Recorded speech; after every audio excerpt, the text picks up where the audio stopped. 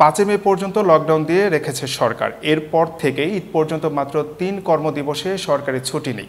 ওই তিন দিন অফিস বন্ধ রাখলে টানা লকডাউন চলতে পারে পনেরো মে পর্যন্ত। করোনা মোকাবেলায় এরকম ভাবছে সরকার। জনপ্রশাসন প্রতিমন্ত্রী জানান, খুব শিগগিরই আন্তমন্ত্রণালয় সভায় বিষয়টি চূড়ান্ত হবে। করোনা ভাইরাসের সংক্রমণ রোধে চলমান বিধিনিষেধের মেয়াদ শেষ হওয়ার কথা পাঁচই মে। এরপর ঈদের ছুটি শুরু হবে বারো মে থেকে। চার দেখা সাপেক্ষে তেরো বা চোদ্দ মে হতে পারে ঈদ।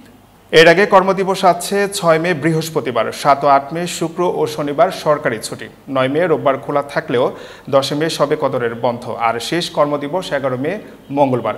লকডাউন দেওয়ায় দেশে করোনা সংক্রমণের হার কমছে। ঈদ পর্যন্ত এই তিন দিন বন্ধ থাকলে লকডাউন পনেরো মে পর্যন্ত টানা সম্ভব। ভারতে করোনা পরিস্থিতি ভয়াবহ হয়, বাংলাদেশ সরকার এভাবে ভাবছে। জনপ্রশাসন প্রতিমন্ত্রী ফরাদ হোসেন জানান, বিশেষজ্ঞদের পরামর্শ অনুযায়ী পরবর্তী সিদ্ধান্ত নেওয়া হবে। এদিকে লকডাউন বাড়ানোর চিন্তা থাকলেও ঈদের আগে গণপরিবহন সীমিত পরিসরে খুলে দেওয়া হতে পারে। সংবাদের সর্বশেষ আপডেট পেতে ভিজিট করুন আমাদের ফেসবুক ওয়েবসাইট ইউটিউব টুইটার সহ সকল সামাজিক যোগাযোগ মাধ্যমে।